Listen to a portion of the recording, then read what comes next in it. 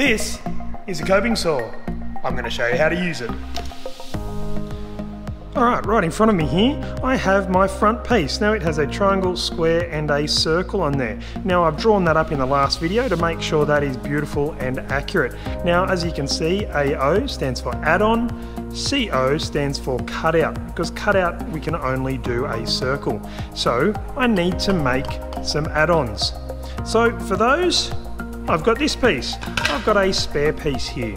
Now on there I've already drawn some squares, a triangle, and even a curve shape just to show you how to do this with the coping saw. Now, as you can see, I've drawn them in the corners. I'm not going to get it and just do it straight in the middle. That is just a waste because I've got to cut all the way up here and then along and then down. It's just a waste of material, so don't do that. Draw it in the corners because it's already got nice two beautiful flat square edges there. And even for my triangle, I've got a nice edge there. Now, when we use our coping saw, Okay, this is our coping saw. When we use that, we're going to leave a little bit of a jagged edge. So I don't want to cut straight along that line there. I just want to go off that line just a little bit, like a millimeter or so. So what I'm going to do is I'm going to get my rule and I'm going to put that just on the edge there and I'm going to rule a line. And same across here as well just like that. Now it doesn't have to be absolutely perfectly accurate, you can just see that it's just off just that little bit. Now when I use my coping saw, they are the lines that I'm going to cut so then I can sand it down perfect to the right size. So I'm just going to go along and just put those lines in for all my other pieces as well.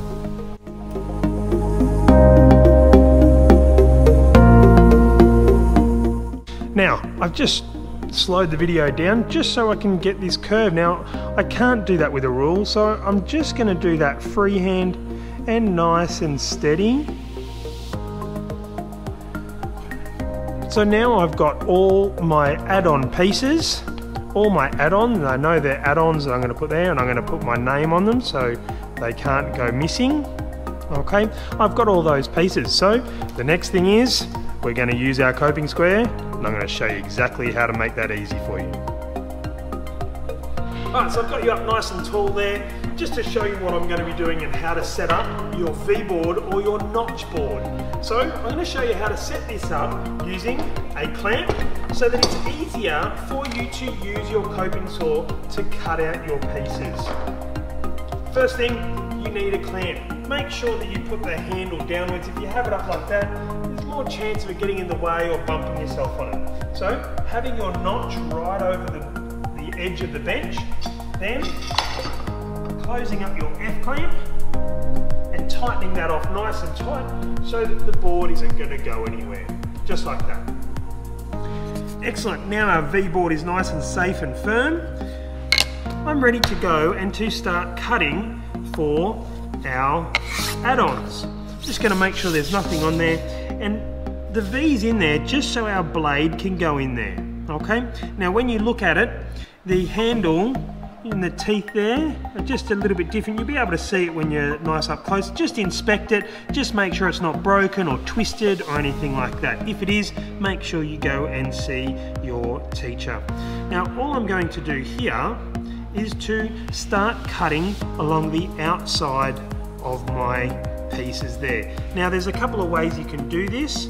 I like to get down a little bit lower like this and just getting your finger, just putting it on the edge there. And all I'm going to do is nice and smooth, just going along and cutting on that outside line, leaving a little bit of a gap there. All I'm going to do is I'm just going to cut that all the way through.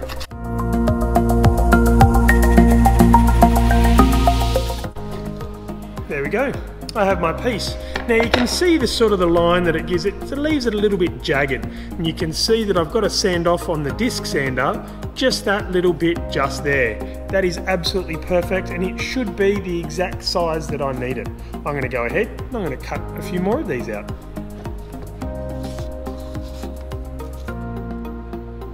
Making sure you use your finger, it's always good, just your fingernail there just to help you start off.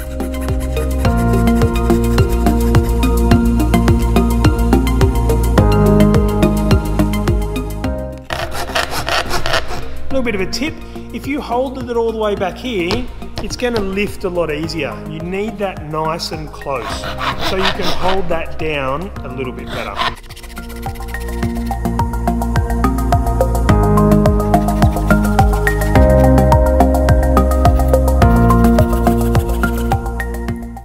Now to the hard one. It's curved, so I'm gonna have to, as I go, curve that around. It's gonna be a little bit harder, but take your time. Using my finger, and I'm just going to, as I cut, just move my blade just that little bit.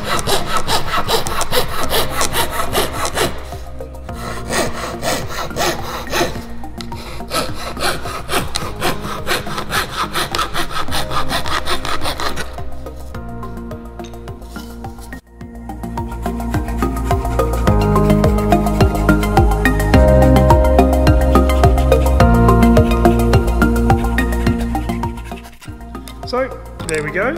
I have my pieces ready to be disc sanded and ready to be used in your project.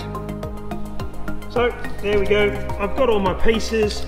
They can be used and they can be sanded up so they are ready to be glued on when I need them. But they need to be disc sanded. So the next video we need to make, yep, you guessed it, is the disc sander disc sander and then I'm going to show you a video on how to use for the drill press as well. Make sure that if something does happen to these now, sometimes the blades break. It's okay. Don't be silly with them and they should last. But if they do break, make sure you go and tell your teacher straight away. We won't be grumpy, we just need to know because we want to make sure that our tools are safe and in perfect order for you guys.